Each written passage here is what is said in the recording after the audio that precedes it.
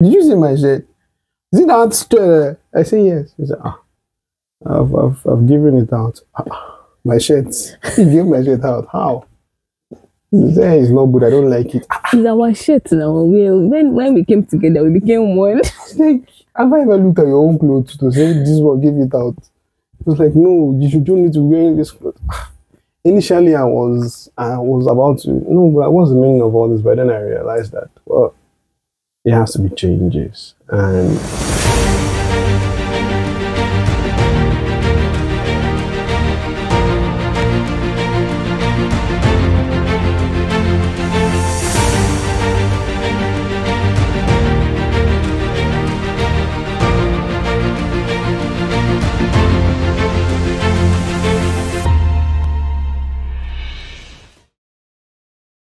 if you really want to keep the home going, if you want to keep it flourishing, keep praying. So I said three. What do you? Is there a number? No, there was no Okay, number. okay. So I can just give one. No, no, no, no, no, no, no, no, no, no, no, no. The minimum you give is three. You're the one who said I should go first. Okay. Um, I would say I think this one it was actually God that taught me to not take things too personally and to not take things too seriously. You know, as women, we like some things to be done in some certain ways. And if God blesses you with a husband that doesn't make life difficult for you, he doesn't make life dif- difficult for me Blurred. but I can be sort of like I don't want to use the word perfection a perfectionist. I don't think I'm am I a perfectionist. Who am I to answer that question? But then I feel like when you're coming into marriage, you have to let go of some things because you're not living alone anymore. Mm. And you have to try to see um, from the other person's point of view. So not taking things personally and trying to see from the other person's point of view, trying to like put yourself in that person's shoes. Like if I was a guy, how would I see this? How would I feel about this? Hmm. Right. And also you just said, okay, this thing is really not really a big. I, I don't mean to just, you know, start going all spiritual, but sometimes we sort of blow things out of proportion or we sort of hold on to things that, to be honest, they are not meant to be held on to. And then unfortunately, it starts growing and becomes such a big issue. Hmm. So I've just realized that there are a lot of things that are really not a big deal. And if it's possible, just you don't take things so seriously. Life shouldn't even be taken too seriously. And if that is done, you realize, well, I realized that I actually was enjoying this friendship so much more. Another thing is trying to do things that he likes to. I like my things. I used to like my space, but getting married to him, I realized that I needed to communicate more. And in communicating more, I needed to know so much more about him and understand him more so that I would also like the things that he likes, which will help us to be able to communicate better, have things to talk about. From there, our friendship became deeper. Just makes you, you know, like each other's company so much more. I like spending time with him. I, as much as I, I love my space, I really love spending time with him. So I think learning to communicate better. I could go on and on, but I will probably just end with prayerfulness. No, I've said prayer. It now. I feel like I just need to like emphasize on prayerfulness. Like it's really important. Yes, Just like he mentioned, there was like a short period of time where we're not as close as we used to be. It was just a short period, and we just realized that what's going on, and we just realized that we're not praying together. And ah, immediately we, we just you know ask God to forgive us and all, and automatically, see prayer works wonders. Like I cannot even overemphasize this. Prayer works wonders, and it has really helped us in this family even before we got married. And we just pray that god will just keep keep helping us. It's not like we have all the wisdom. No we are eight we are, we are just two years how many months? We are babies you know. But we just we um, one thing that's really worked for us is holding on to god and asking him every single day to help us, to help me to be a better wife, to help him to be a better husband to me. Yeah. So, to give tips to guide those trusting God, whether it is in selecting a life partner or remaining happily married. Um, should I go first again? Oh, I think it is very important to have a relationship with God before marriage. Let's be open to say, you know what, God, give what's best for me. Right? If we want to take a decision without God, God will force himself, but always going to God to ask him to say, What's your thought? I need your help. He would obviously come and he'll give us the best. Even though sometimes we feel that's what he may be giving us at the time may not be the best. But he really, really knows. So it's building that relationship so that when the time for even marriage comes into play, one knows that, okay, this is how God speaks to me. And you know, and the individual knows that, okay, God is actually telling me now to go in this direction. And in terms of how to staying happily married, well, I, I'd say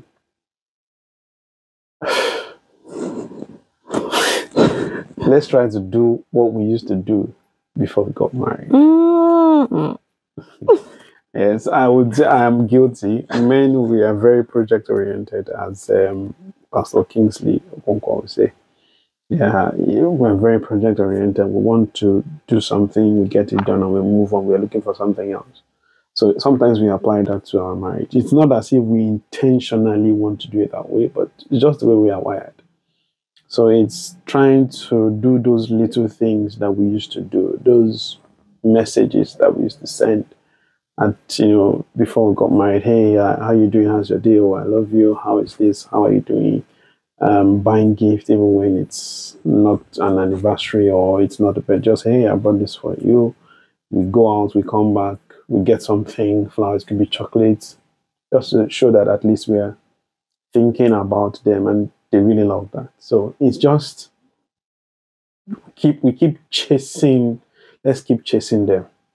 Yeah, I think that's what makes them happy. And then um, doing a lot of things together, playing together. I think yeah, there's really there's a need to play, um, have games, spend quality time because we are all busy. We get as we get older, we get very busy. Things coming through, but let's try to play.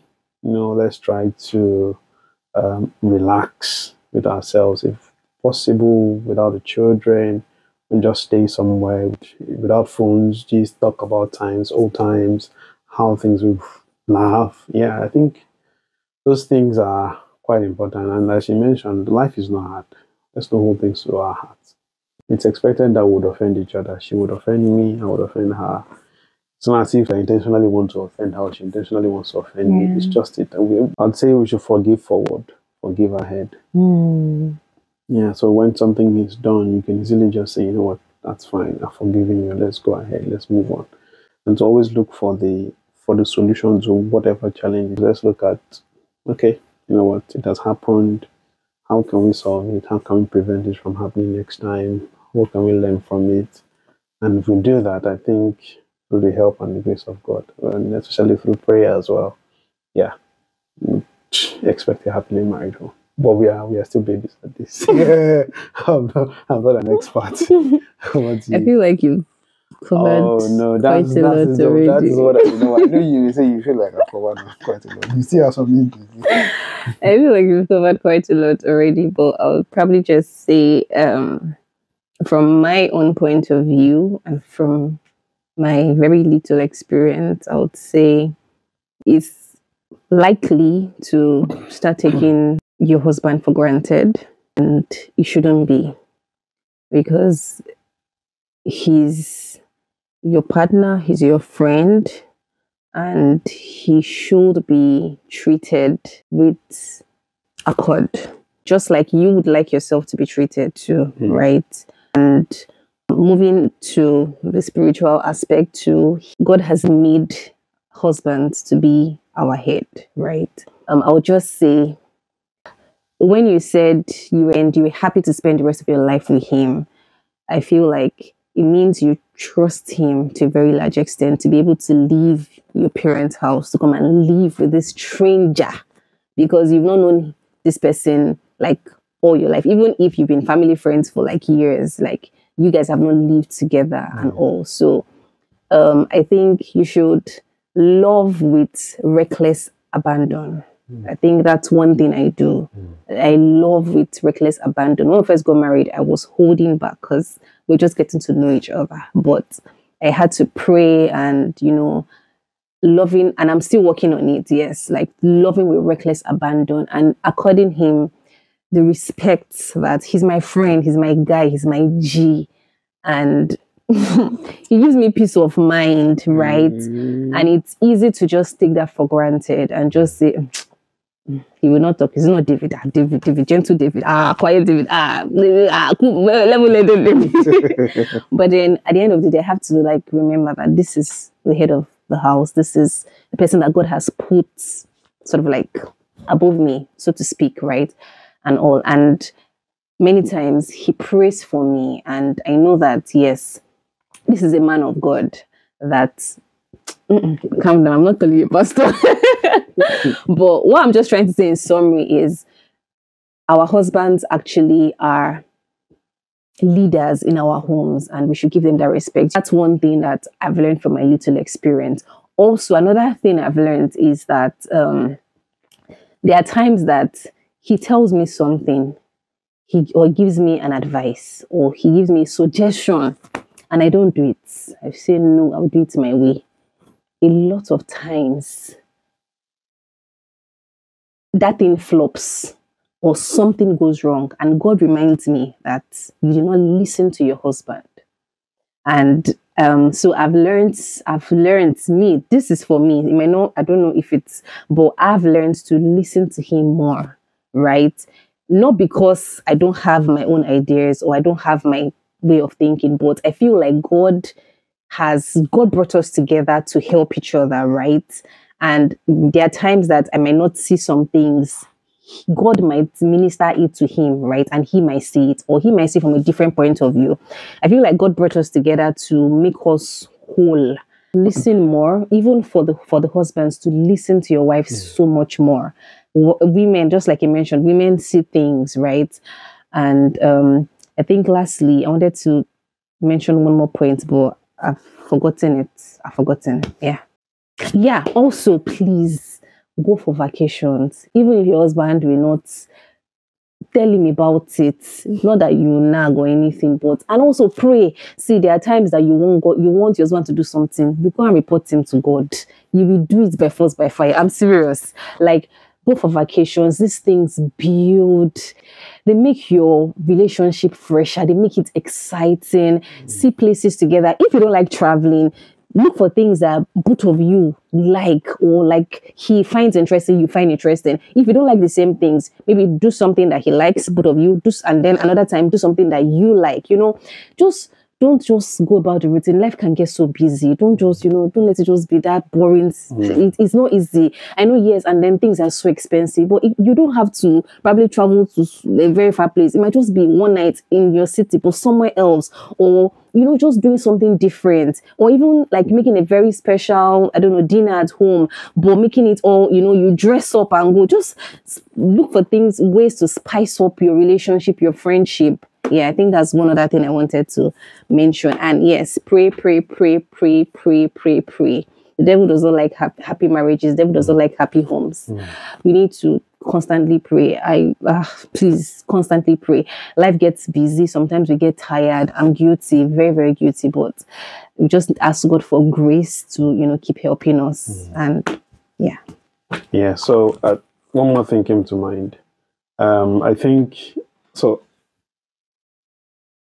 I think this is directed more to the men. Um, I'll just say let's try to be a CEO. So let me let me rephrase that so that it doesn't look as if I'm serious. um, so the role of a chief executive in an organization basically is to ensure that there's the right culture, there's the right vision, there's the right um, um, environment for talent to thrive. And as a leader in the home, I think that's one of our that's our major duty. In as much as we are the we are the leader, we should We are not there to instruct or say, oh, my, my word is final. But we are there to ensure that the home has the right culture where the children can thrive, where they can have the best, where our spouse can also bloom. Hmm. It's creating that environment, ensuring that it is there.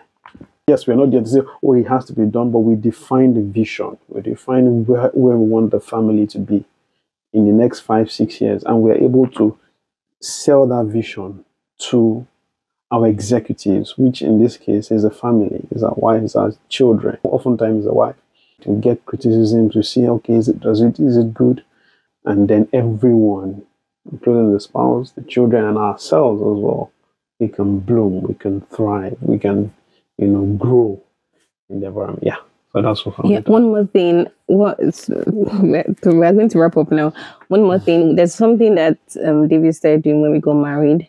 It's sort of like a like a monthly evaluation that he does with respect to our relationship. It might sound serious, but mm, it's not that it's not that serious. But then it has helped. So what he what what he used to do is he would say, "Okay, babe, come, let's talk."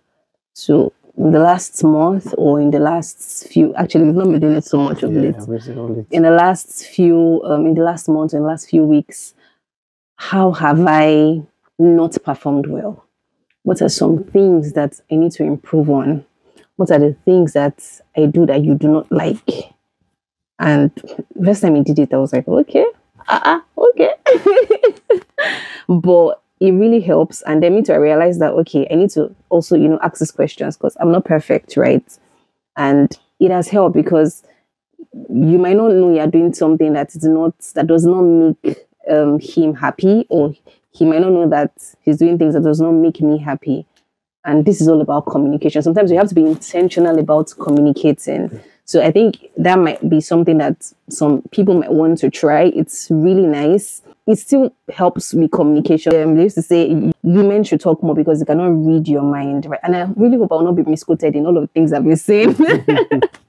but yeah, um, basically, I think that might be something that could work. It would help you understand each other better. It will help you change, correct some things that need to be corrected, and also improve on things. So I also say, okay, this is how you've been doing so well, and please, I want you to continue this. When he too, he will tell me things I've been doing. So it's not all, you know, negatives. It's all, you know, positives and areas in which you can improve on and areas you've been doing so fantastic and just continue that way or ah, do it more. You understand things like that. And I think it actually helps. Yeah. So I think so far that's that's all. Yeah.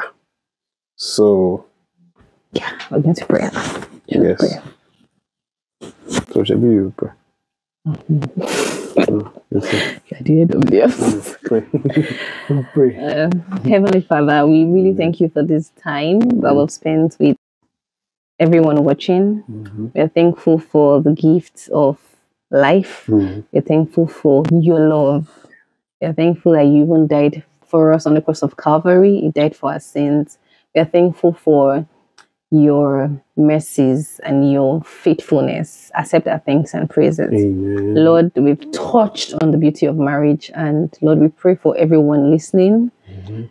that you would reach out to them. Amen. For those that are looking to you for future partners, we pray, Lord Jesus, that you lead them aright. Amen. We pray, Lord Jesus, that they will wait on you till you bring that perfect person for them, that person that meets their need, Amen. that person that you've marked out for them, that both of them will achieve the purpose you have for their lives together. Amen. Please bring to them in Jesus' name. We also pray for every home mm. that is already formed, mm. that your presence will dwell in them. Amen. Every a- a- anyone that needs more peace, more love, more excitement in their family, in their home, in their relationship, you will give it to them in Jesus' name. You said we should ask and we shall receive. So we are asking, Lord, that you increase the love in our home, you increase the peace in our home, you will increase the beauty in our home, that we want to thoroughly enjoy this thing called marriage, we want to enjoy our union, we want to enjoy life. Please do this for us in Jesus' name. Amen. And we know that your coming is very imminent. Please make us ready. Amen. Glory awaits in Zion. Mm. For in Jesus' name we have prayed. Amen. Amen. All right. Thank you all. Thank you. Bye. Bye guys. Bye.